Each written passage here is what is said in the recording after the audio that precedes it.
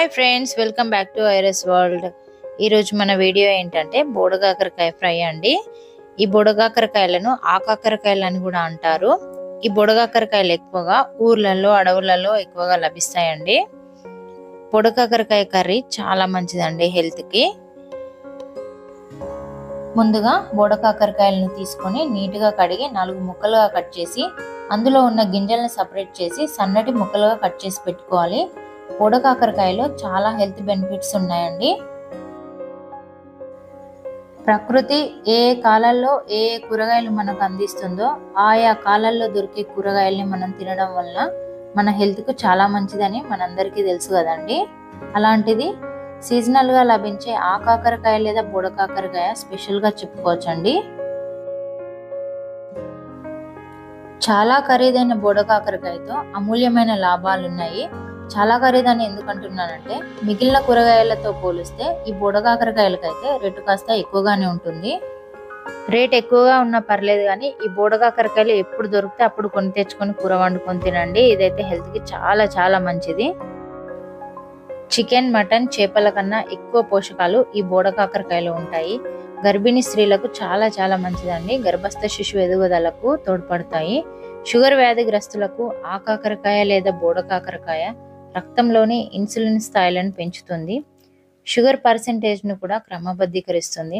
లివర్కు హాని కలిగించే వాటిని తొలగించుకోవడానికి కావాల్సిన ఎంజైమ్స్ని తయారు చేసుకోవడానికి ఉపయోగపడతాయి. వీటిలో ఇమ్యూనిటీ పవర్ కూడా ఎక్కువగా ఉంటుంది. బోడ కాకరకాయలో చాలా లాభాలు ఉన్నాయని సైంటిఫిక్గా కూడా రుజువైందండి. వంద గ్రాముల బోడ కాకరకాయలో నీరు ఎయిటీ ఫోర్ గ్రామ్స్ ఉంటుంది. Carbohydrate seven point seven grams ఉంటుంది. ప్రోటీన్ త్రీ గ్రామ్స్ ఉంటుంది ఫ్యాట్ త్రీ గ్రామ్స్ ఉంటుంది ఫైబర్ త్రీ గ్రామ్స్ ఉంటుంది ఐరన్ ఫైవ్ మిల్లీగ్రామ్స్ ఉంటుంది.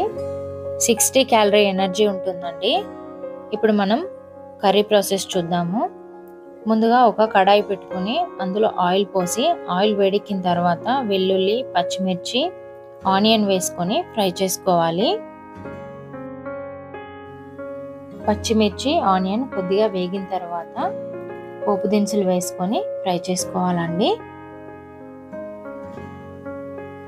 ఈ పోపు దినుసులు కొద్దిగా ఫ్రై అయిన తర్వాత ఒక రెమ్మ కరివేపాకు వేసుకొని ఫ్రై చేసుకోవాలి. తర్వాత రెండు ఎండుమిరపకాయలు వేసుకొని లైట్గా వేయించుకోవాలండి.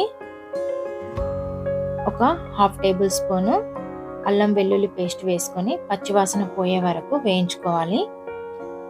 ముందుగా కడిగి పెట్టుకున్న బుడగాకరకాయ ముక్కలను ఈ ఆయిల్లో వేసుకొని ఫ్రై చేసుకోవాలండి. ఈ ఫ్రై ప్రాసెస్ మొత్తం మీడియం ఫ్లేమ్లోనే చేసుకోవాలండి. ఈ బోడకాకరకాయలు మన ముఖ సౌందర్యాన్ని కూడా కాపాడుతుంది. ఇవి యాంటీ ఏజింగ్ కారకాలుగా కూడా పనిచేస్తాయి. స్కిన్ని ఆరోగ్యంగా ఉంచడంలో తోడ్పడతాయి.